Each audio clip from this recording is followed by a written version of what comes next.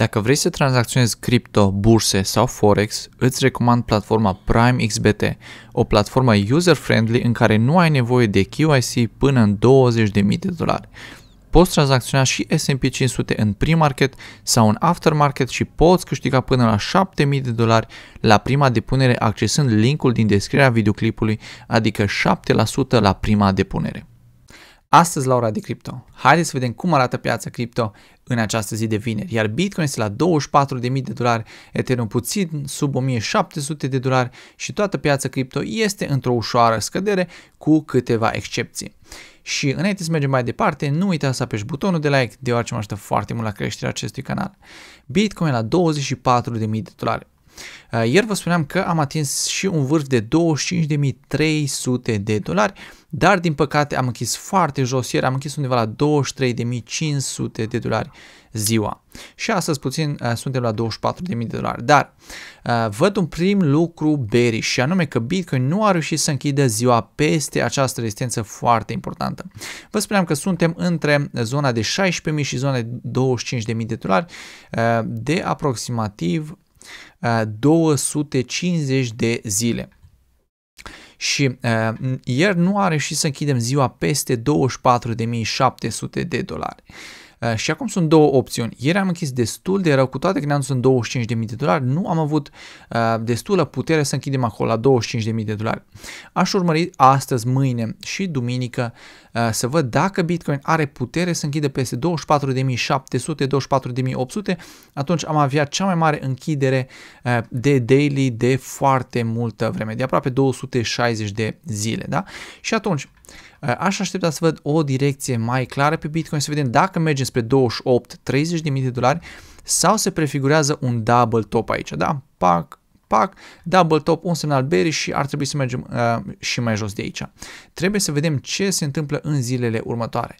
Vedem un prim semnal bearish că Bitcoin nu a reușit să treacă de 25.000 de dolari. Asta este primul semnal uh, bearish pe care îl văd eu pe Bitcoin. Dar sunt bullish pe daily atâta timp cât stă peste EMA Ribbon și peste EMA 200. Deci atâta timp cât stă peste 21.400, 21.500 sunt bullish pe daily. Când va închide sub, voi fi bearish. Da? Știți că trebuie să mergem cu trendul. Când suntem bullish, trebuie să deschidem longuri, să fim în piață și așa mai departe. Când piața merge în jos, trebuie să shortăm și să ieșim din piață. Deci până în 21.500 eu sunt bullish pe daily. Uh, mergem și pe S&P 500, deoarece se întâmplă niște lucruri interesante aici. Uh, bursele s-au deschis de vreo uh, două ore și a fost pe roșu și ieri și astăzi în pre-market și după ce s-au deschis în pre-market, deoarece ieri au apărut niște zvonuri că se va mări, mări cu 0,5 dobândă la următoarea ședință a Fedului. Din punctul meu de vedere, nu cred că vor face această mișcare, cred că sunt doar speculații, să mai scadă puțin piața, cred că tot un 0,25 se va majora la următoarea ședință a Fedului. Uh, dar putem vedea că S&P-ul este în scădere și uh, de uh, ieri a spart linia de trend pe care a ținut-o cam din, de la începutul anului, din 6 ianuarie. Din 6 ianuarie S&P-ul vedeți că tot timpul a făcut bounce de la suport. Aici, aici, aici, aici, odată și aici. Da? Dar în aceste momente putem vedea că uh, s-a dus sub acest suport și, bit, și uh, S&P-ul este, uh, nu știu de ce nu mi se curăță, uh, S&P-ul este într-o coborâre. Și putem vedea că S&P-ul s-a dus și sub acest low, la, sub low de 4064 uh, de dolari. Vedem dacă astăzi și va închide și ziua și săptămâna sub acest prag. Da? Ar printa uh, primul lower low. Până acum am tot avut lower highs, uh, higher lows, higher lows, higher lows, higher lows, dar și acum se preferează ca low-ul acesta să fie mai mic ca și acesta. Teoretic ar trebui să înceapă un downtrend, da? Și dacă închidem daily și weekly sub 4060, următorul target ar trebui să fie 4000. Mare atenție, deoarece dacă bursele scad, ar trebui să scadă și cripto. Și dacă deschidem uh, pe daily pe EMA Ribbon, la fel, pe uh, daily pe S&P voi fi bullish până S&P-ul va fi peste 4000 de dolari, unde este EMA ribbon și EMA ribbon și EMA 200. Deoarece EMA 200 joacă un rol foarte important. Haideți să curăț puțin chartul să se vadă mai bine, dar tot timpul uh, după un uptrend, de exemplu și aici, da? Ne-am dus un uptrend, ne-am dus peste EMA 200, când am închis din nou sub EMA 200, a venit o corecție. La fel și aici, ne-am dus peste EMA 200, când am închis din nou sub EMA 200, a venit o corecție. Dacă S&P-ul va închide în zilele următoare, luni, marți și așa mai departe, sub 4000, voi fi bearish pe S&P și atunci ar mai trebui să vină o corecție în piață. Trebuie să vedem ce se întâmplă foarte important și săptămâna viitoare. DXY-ul, în schimb, a mers peste acest high peste acesta. Uh, odată nu a reușit să treacă aici, nici o doua dar a treia oară vedem că a reușit să treacă din zona de 103,6-103,7. Și cum a urcat puțin dxy cum am putut vedea și sânge pe piața bursieră, știm că atunci când dolarul urcă, piețele financiare de obicei scad. Și atunci, uh, un DXY puternic ar trebui să pompeze până în zona de 105,3-105,6. Aici este următoarea rezistență. Uh, dar pe DXY, pe 4 ore, putem uh, vedea că se formează un rising wedge. Un rising wedge teoretic este un tipar bearish. Știți că are mai multe șanse să fie spart în partea de jos decât să fie spart în partea de sus. Și dacă se adeverește acest lucru, atunci DXY-ul dacă ar lua un dump și s-ar duce din nou sub 103,4, atunci S&P-ul și bursele și cripto ar putea să urce. Trebuie să urmărim ce se întâmplă în detaliu și pe uh, uh, DXY. Mergem mai departe pe dominanță. Și am văzut, am văzut un Bitcoin puternic. Uh, Bitcoin a urcat destul de mult, dar știm că tot timpul după ce Bitcoin uh, merge puțin în lateral sau scade, da? banii se îndreaptă și în altcoin-uri. Și încă nu am văzut acest lucru. Uh, când dominanța va începe să scadă, atunci vor urca și cam toate altcoin-urile și cred că ar cam trebui să mai urce altcoin-urile uh, cel puțin încă câteva săptămâni să fie un uptrend și pe altcoin-uri, deoarece nu am avut un uptrend cam pe toate altcoin-urile, da? în special monedele de AI au urcat foarte mult. Și atunci putem vedea, uh, o să urmărim dacă uh, dominanța depășește 45. 44, 44, 87 este următoarea rezistență. Vedem dacă reușește să treacă sau nu. Dacă trece, atunci uh, altcoin-urile sângerează când dominanța urcă și o să mai avem un uptrend pe Bitcoin. Trebuie să urmărim ce se întâmplă cu dominanța sau faci un double top și ne corectăm de aici și altcoin-urile urcă.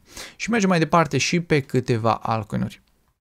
Mergem pe ICP, ICP la 7 dolari, am vorbit de ICP de când a ieșit din acest falling wedge, falling wedge uh, masiv pe daily cam de la începutul anului. Am văzut că am avut un uptrend puternic și în aceste momente astăzi ICP-ul testează EMA 200. Da, nu aveți nevoie de 50 de indicatori și așa mai departe să vedeți un uptrend sau un downtrend pe orice criptomonedă. Da? Uh, pe ICP încă nu avem foarte multe date despre acest EMA 200 deoarece nu este o monedă uh, uh, veche pe Binance, s-a lansat de vreo uh, 600 de zile și atunci IM200 s-a pus doar după 200 de zile, undeva pe aici, prin noiembrie 2021. Dar putem vedea că ICP este peste IM200 cu un volum foarte mare. Uh, un lucru care îmi place, dar cu toate că nu îmi place proiectul ICP, dar îl putem tranzacționa. Nu trebuie să ne îndrăgostim de ele. Dacă punem un Fibonacci uh, pe ICP. Putem vedea că a ajuns exact cu exactitate în zona de 0,618 pe Fibonacci. Atunci, dacă ICP-ul în următoarele zile uh, reușește să se mențină peste 6,60, voi fi foarte bullish pe ICP pe termen scurt. Ar putea să ajungă undeva la 8,28,30, 9,60 și poate poate și spre 13 dolari doar dacă în următoarele zile se menține peste EMA 200 și peste 0,5 Fibonacci. Da? Dacă face ceva de genul, merge un pic în sus, se consolidează aici peste 6,60, poate chiar merge puțin sub, dar reușește să închidă peste. Dacă văd aici o consolidare bullish, am toate motivele să cred că ICP-ul Arcan trebuie să meargă și mai sus. Uh, volumul este pe ICP, ICP arată bine și în sfârșit pare pare că va urca, că doar a scăzut la infinit. Mergem mai departe și pe Egold și uh, știrea zilei de ieri este că uh, Multiverse X sau Elrond a încheiat un parteneriat cu Tencent, Amazonul Asiei. Unicornul românesc Multiverse X, anterior numit Elrond, a anunțat cu puțin timp în urmă o colaborare strategică cu Tencent Cloud, uh, ramura responsabilă cu serviciile cloud a Tencent, compania de tehnologie renumită la nivel global. E bine, eu nu am, să fiu sincer, nu am auzit de această companie, dar după un research uh, nu foarte mult, dai pe Google un Tencent și vezi că este o companie destul de mare uh, din Asia și asiaticii cu cripto, a văzut ce s-a întâmplat și cu Aptos. Împreună, cele două companii își propun să exploreze noi direcții către crearea de oportunități în cadrul Web3 și Metaverse, prin intermediul rețelei blockchain și a suitei de produse dezvoltate de Multiverse, Multiverse X. Este o companie de vreo 400 și ceva de miliarde de dolari. Deci este un parteneriat foarte bun pentru viitorul Elrond, eh, viitorul Multiverse X. Și atunci am văzut și el un spike pe preț, s-a dus până în 54 de dolari și a cam lichidat din shorturi. Elrond în acest moment este la 48,75, vedem că a atins 0,5 uh, Fibonacci, uh, dar ca să fiu și mai bullish pe Elrond la fel, IMA 200, aici este toată cheia. Dacă trece de 5,4, voi fi și mai bullish. Și în 28, adică peste 11 zile se va lansa și X portalul. Uh, aștept foarte, foarte uh, mult acest export să văd cum o să arate și așa mai departe și mă aștept ca și prețul să crească pe acest mic hype. Da? Știm că tot timpul când se livrează produse și așa mai departe, Prețul monedei ar cam trebui să crească, cum a zis și la XDay, a urcat de la 40 la 60 de dolari uh, până înainte de conferință și după a început să scadă. Același lucru cred că se va întâmpla, va urca cu cât se vor lansa produse și după aia va începe o scădere. Dar Erlond, uh, pe termen scurt, dacă ar închide peste 5.2, 5.2, 5.4, ar trebui să meargă destul de bine sus, 5.7, 64, poate, poate 85, cine știe, în săptămânile următoare. Uh, mergem mai departe pe LDO, la fel, o monedă care îmi place foarte mult, Lido, da? Și putem vedea că Lido pare, pare că va merge în Fibonacci extins. Am mai vorbit despre Lido uh, tot prin ace- în jur valorii de 3 dolari, dar în aceste momente putem vedea că Lido pare, pare că are putere să închidă ziua peste 3 dolari. Dacă închide ziua peste 3 dolari, ar putea să meargă peste acest vârf, peste acest vârf și să meargă în Discovery mod pe Binance.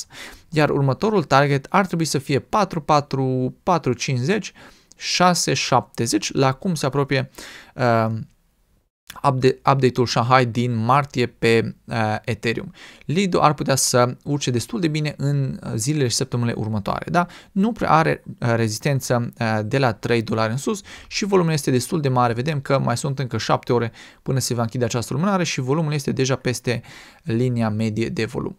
Mergem mai departe pe AGIX. Uh, AGIX pe mm, daily. Hopa. Nu știu de ce mi se tot pun uh, liniile duble, așa. Agix uh, pe daily. Uh, știm că Agix a avut un, uh, o urcare foarte mare, s-a dus până în 66 de cenți uh, și a avut o coborâre, da, exact până pe 0,382 Fibonacci și în aceste momente se consolidează. Dar pe daily putem vedea un triunghi simetric. Și știți ce reprezintă un triunghi simetric? Este un pattern de continuare a trendului. Adică, teoretic, are mai multe șanse să fie spart în sus decât să fie spart în jos. Și următorul target pe care ar putea să-l atingă Agix dacă se adeverește un uptrend, dacă sparge rezistența asta, dacă merge peste 47 de cenți cu un volum mare, ar putea să meargă la fel 54, 60, 67, 88, 1 dolar 21 dacă mai vine uh, un hype și mai mare pe AI. Hype-ul pe AI, pe AI încă este și cred că dacă dominanța o să scadă, monedele de AI ar cam trebui să urce primele din punctul meu de vedere. Și atunci, da, acestea sunt următoarele targeturi pe AGIX, dar repet, trebuie să vedem dacă va închide ziua sau pe 4 ore peste rezistență și cu un volum și mai mare. Dacă vine volumul, atunci este sigur un uptrend pe AGIX. Mergem pe Matic monstrul între ghilimele Matic, care este un proiect care îmi place și la fel, am vorbit de Matic de, de la ieșirea asta de la 1 dolar, o creștere de vreo 40% în ultimele două săptămâni. Dar ce vreau să vă arăt este că Matic BTC face un lucru foarte important. Este la doar în aceste momente Matic BTC este la doar 9% să facă un all-time high în funcție de Bitcoin. Gândiți-vă ce alt altcoin a mai făcut all-time high în funcție de Bitcoin în plin bear market. Matic este această monedă și sunt foarte curios să văd ce o să se întâmple cu Matic la această rezistență. A testat o dată aici la all-time high, a mai testat o dată prin noiembrie anul trecut și pare că va testa uh, sau testează deja uh, în aceste momente Matic rezistența din nou. Dacă a reușit cumva să treacă de 7000 de satoshi, dacă ar trece de această casetă cu verde, Matic ar putea să meargă repede spre 2250. Și atunci Matic USDT Matic USDT arată chiar foarte bine uh, voi șterge și această rezistență deoarece a reușit să treacă de ea și această și această rezistență. Și atunci, dacă punem un Fibonacci uh, din high în low, putem vedea că a trecut deja de primele două rezistențe, de 0,236, de 0,382 Fibonacci și următoarea rezistență este în jur valorii de 1,62 Uh, și la 1.93 este următoarea rezistență foarte mare. 1.93 și 2.34, 2.80. Cred că ultimele două targeturi pot fi atinse doar dacă Matic BTC ar trece de acea casetă cu verde, pe care am marcat eu cu verde.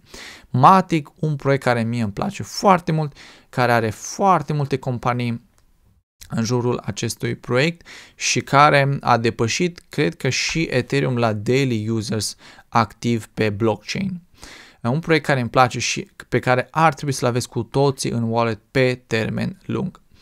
Cam atât a fost pentru astăzi, sper că v-a fost de folos acest videoclip și vă mulțumesc de fiecare like și de fiecare coment. Pe data viitoare!